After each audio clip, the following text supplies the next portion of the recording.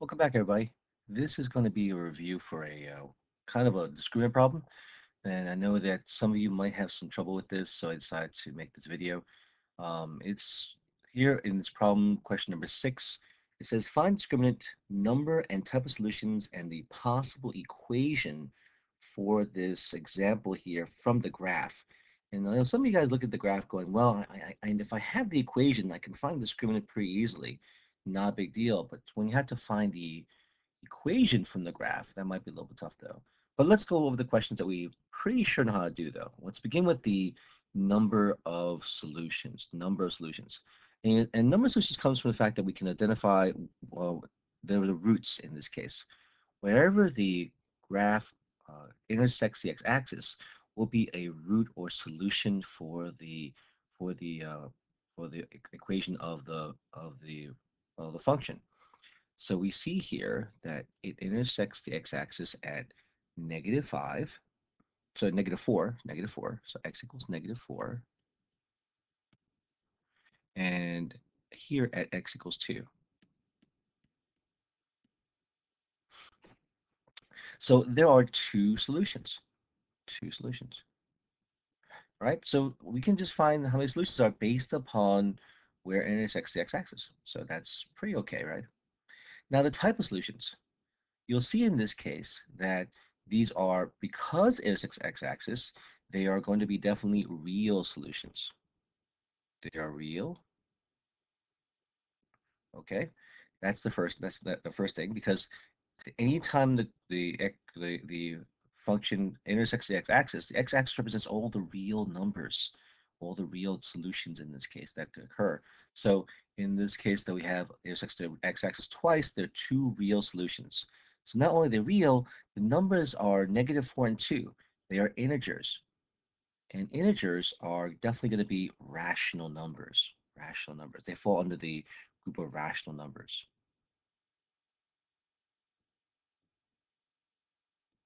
And finally, since they're not the same number, they are unequal, meaning uh, we have two roots that are not the same number, they are unequal. Okay, so unequal. Sorry, my handwriting is atrocious. It's, I'm trying to write on my screen without pen. It's my little finger here, so oh, my big clumsy finger. So unequal. Okay. So now uh, we got two of the four things we want to get. So now we got to find the, if we can find the possible solution, we can find the possible equation. And in this situation, you know, we need to kind of now work back to something we've done before. Um, and so what I recommend in this case is to find another point for us to determine what the equation is going to be. And so I'm going to pick in this case this here. The important point is the vertex. Okay. Vertex. And our vertex here, it looks like the coordinate negative 1 comma uh, positive 9. Now, as far, as far as the roots go, the coordinates we have here are negative 4 comma 0 and 2 comma 0. So we have really three points. But we can use the vertex form of a parabola to help us determine the equation. We have we have uh, one vertex, and we have um, we have one one point, especially in this case, one of the roots. Okay, so let's go to, because, uh, you know, it's not much space here and everything like that, uh, let's go to, in this case, uh, the whiteboard here to be able to uh, create the equation and therefore find our discriminant, okay? Now we hope in this case that our discriminant based upon equation is going to be a, it looks like in this case, because we have two real, real, real rational equal roots, has to be positive number and a perfect square. So that's kind of the whole thing. You, if you have your, if you have uh, the roots are are, are real, rational, equal, the discriminant should be a positive number as well as a perfect square. Okay, so let's go to a whiteboard.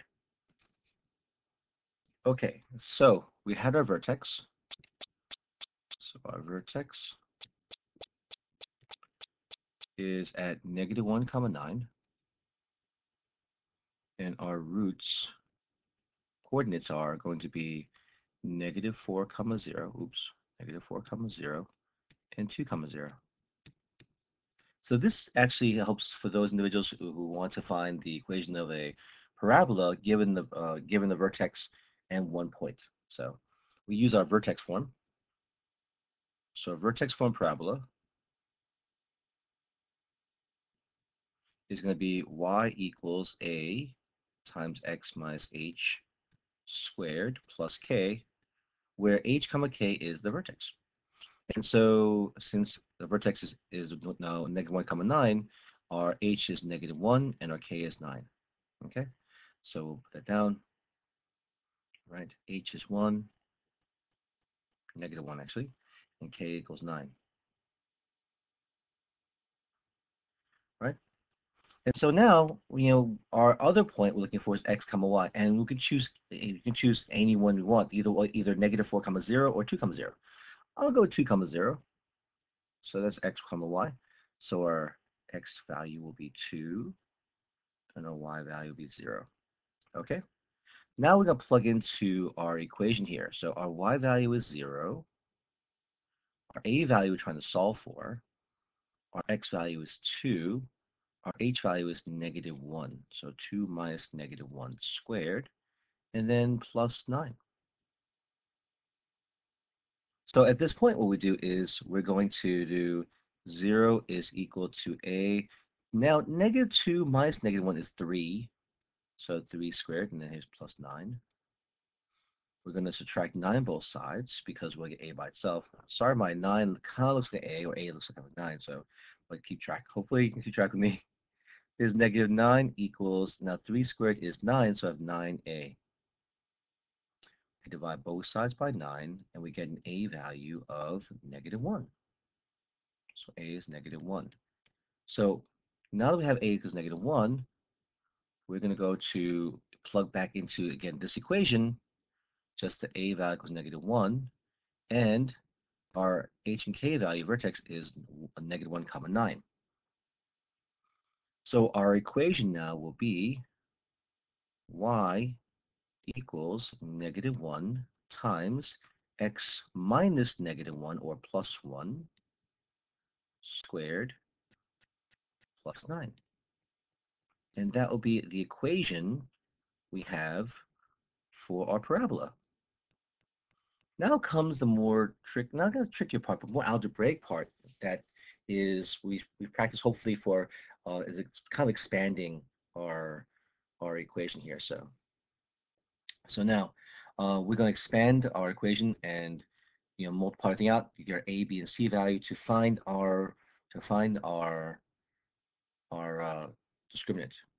So let's take our equation. I'm going to go to take our equation to another board and then you know have more space to still crowding up the whole page and everything. So hopefully we're okay with finding the equation now. Okay. Okay. So we have our equation of, of, of our parabola. And so now let's expand. So this is y is y is equal to negative 1 times x plus 1 times x plus 1 plus 9. And now I'm going to I'm going to multiply these out now. So this should be negative 1. Here we do x times x, x squared. x times 1 is x. 1 times x is x. 1 times 1 is 1 and then we do plus 9. Now, again, operations. Now, you could have multiplied negative 1 with the x plus 1, but I find in this case, since multiplication is what's called commutative, the order we multiply these three things, negative 1, x plus 1, x plus 1, it doesn't it doesn't matter, right? So I like to I like to multiply my x plus 1 times x plus 1. and so we're going get here negative 1 times x squared plus 2x plus 1 plus 9. Okay, and so we end. So now we we, distribute negative one,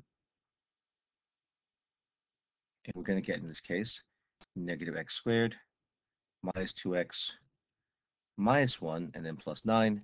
Our equation now is going to be in standard form y equals negative x squared minus 2x plus 8. So now this is going to help us out. So this is now going to be the standard form of our parabola, originally the vertex form. we can definitely expand this out. And so from here, we can identify our A value is negative 1, add that for 4. Now our B value is negative 2, and our C value is 8 to find our discriminant. Okay, and our discriminant formula is going to be B squared minus 4AC. We're going to plug that into our formula. And so now we have, you know, make sure you put parentheses around everything, right? Negative 2 squared minus 4 times negative 1 times 8. For those of you who allow use calculator, remember always put parentheses around all the numbers plugging in in the calculator. It will give you the correct answer straight out. Uh, but for those of you without calculator, again, you know, be very careful in this case because negative 2 squared is not negative 4 but positive 4. And then negative 4 times 1 is negative 1 is positive 4 times 8 is 32, so at plus 32. So our discriminant value is 36. And this makes total sense because in this situation we have we have in this case a, a perfect square. Our perfect square, which means our roots are going to be real, rational, and unequal. Okay, so this is our discriminant.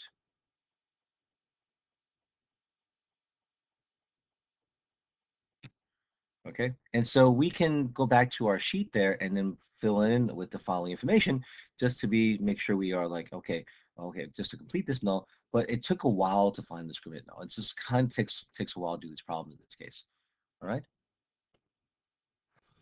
So going back to the sheet here, our discriminant we said was 36.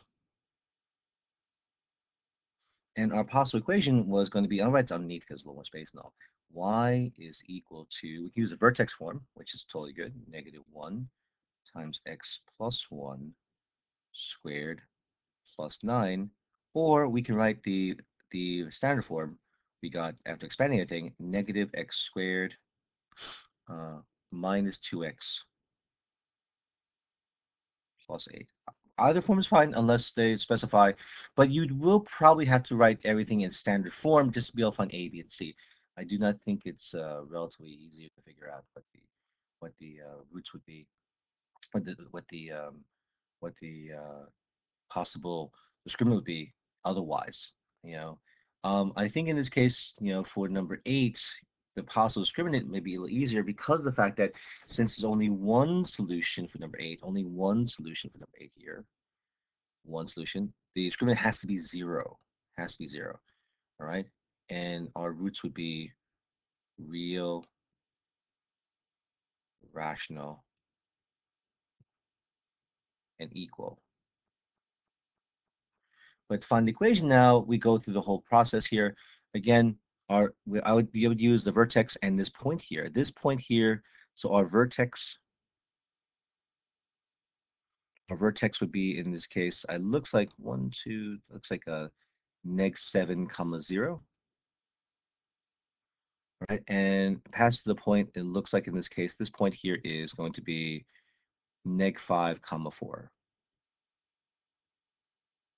So finding this equation for this one would probably easier because vertex form, you know, you're going you're going to be able to use a vertex and plug in a point, but we already have most of these things here, all right? So just let you guys know, all right?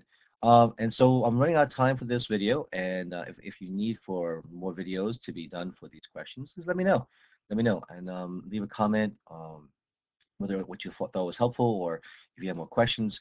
And if you're still around at the end of this video, it's a long video, um, and, you know, definitely give this video a possible like, give, give, give this video a like and subscribe to the channel if you have not done so already. Uh, and turn on notifications so know when uh, new videos come up. And uh, hopefully uh, you guys have a wonderful day. Take care, everybody, and be safe.